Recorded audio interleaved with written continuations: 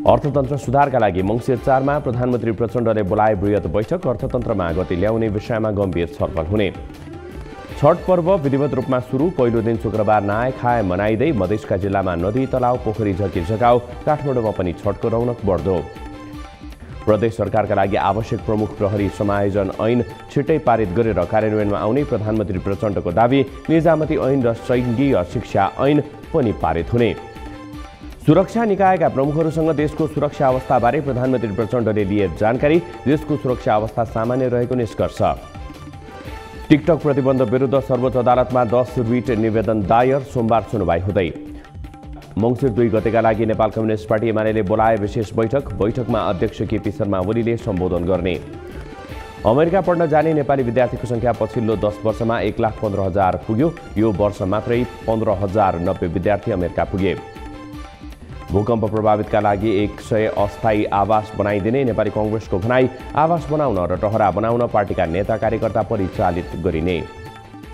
अमेरिकाको अध्यागमन हिरासतमा एकजना नेपालीको मृत्यु मृत्यु हुनेमा सुभाष श्रेष्ठ। अस्ट्रेलिया सरकारले भूकम्प प्रभावितका लागि छ लाख अमेरिकी डलर बराबरको सहयोग गर्ने सहयोग रकम भूकम्प प्रभावितलाई आपतकालीन सेवा प्रदान गर्न र जीवन रक्षाका लागि उपयोग गरिने। टिकटक कम्पनीले लेख्यो नेपाल दूरसञ्चार प्राधिकरणलाई पत्र नेपालमा टिकटक प्रतिबन्ध गर्ने निर्णयले आश्चर्यमा पारेको कम्पनीको भनाई। दसैँमा भन्दा तिहारमा पक्राउ पर्ने जुवाडीको सङ्ख्या दोब्बर तिहारको अवधिमा देशभरबाट तिन सय उनासत्तरीजना जुवाडीहरू पक्राउ वीर अस्पतालमा एक्सरे फिल्म नहुँदा सिटी स्क्यान सेवा प्रभावित सिटी स्क्यान सेवा नहुँदा दैनिक सयभन्दा बढी बिरामी फर्किन बाध्य। नेपालमा ठुला महल बनाउन दिन नहुने उपसभामुख इन्दिरा राणाको भनाई खेतीयोग्य जमिन खेतीका लागि मात्रै प्रयोग हुनुपर्ने भनाई। निर्माण व्यवसायीहरूको अन्तर्राष्ट्रिय छाता सङ्गठनको अन्तर्राष्ट्रिय सम्मेलन काठमाडौँमा आयोजना हुने मङ्सिर पाँच गतेदेखि नौ गतेसम्म सम्मेलन आयोजना हुने जानकारी। सातौँ दक्षिण एसियाली कराते च्याम्पियनसिप मङ्सिरको तेस्रो हप्तादेखि सुरु हुने मङ्सिर सोह्र गतेदेखि हुने प्रतियोगितामा छ राष्ट्र सहभागी हुने आयोजक नेपाल कराते महासङ्घ भनाई।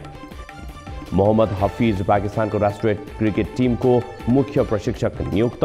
अफिसले अस्ट्रेलिया र न्युजिल्यान्ड भ्रमणको तयारी गरिरहेको पाकिस्तानी क्रिकेट टिमको जिम्मेवारी सम्हाल्ने। फिफा विश्वकप दुई हजार तेइस अन्तर्गत दक्षिण अमेरिकी छनौटमा पूर्व विजेता अर्जेन्टिना र ब्राजिल पराजित उरुगे दुई शून्य र कोलम्बिया दुई एकले विजयी। गाजामा चलिरहेको युद्धमा सर्वसाधारणको मृत्यु कम गर्न आफ्ना सेना असफल भएको इजरायली प्रधानमन्त्री बेन्जामिन नेतन्याहुको स्वीकार। सर्वसाधारण मारिनुमा हमास जिम्मेवार रहेको आरोप। इजरायल हमास युद्धका कारण गाजामा राहत सामग्री पुर्याउनै मुस्किल संयुक्त राष्ट्रसङ्घद्वारा भोकमरीको चेतावनी। दक्षिण फिलिपिन्समा शुक्रबार छ दशमलव सात म्याग्निच्युडको शक्तिशाली भूकम्प सुनामीको कुनै खतरा नभएको अन्तर्राष्ट्रिय सञ्चार माध्यमहरूको टिप्पणी। इजरायल हमास युद्धका कारण बढ्दो चुनौतीको सामना गर्नका लागि एकजुट हुन विकासशील देशका नेताहरूलाई भारतीय प्रधानमन्त्री नरेन्द्र मोदीको आग्रह। युद्धबाट नयाँ चुनौती आएको भनाई। र बङ्गलादेशमा आगामी जनवरीमा संसदीय निर्वाचन हुँदै नोभेम्बर अन्तिमसम्ममा उम्मेदवारी दर्ता गर्नुपर्ने सबै राजनैतिक दललाई निर्वाचनमा जुट्न आयोगको आग्रह।